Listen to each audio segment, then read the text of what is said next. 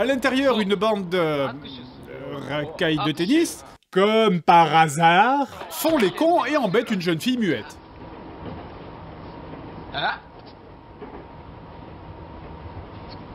Elle a dit Yamete Kodasai, ça veut dire arrêtez s'il vous plaît. Tu parles japonais? Non. Évidemment, le jeune héros intervient et...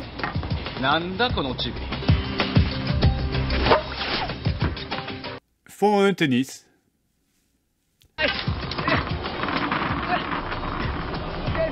Vous savez, je suis curieux de savoir comment ça se passe, parce que dans tous les animés, c'est un peu pareil, c'est genre viens, je te défie, allez, vas-y, montre-moi ce que tu sais faire, etc. Alors bon, quand c'est une partie de toupie, ça se fait sur le tas, ça va, mais là, c'est du tennis quand même, c'est un peu plus complexe. Oui, bonjour. euh, bah, en fait, je vous explique. euh, J'étais en train donc d'agresser une jeune handicapée, puis après il y a un enfant qui s'est interposé. Enfin bon, je vous passe les détails. euh, mais du coup, en fait, on cherche un cours de libre. C'est pour une vengeance.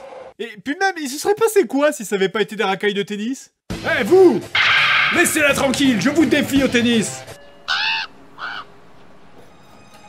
Tant pis. Désolé.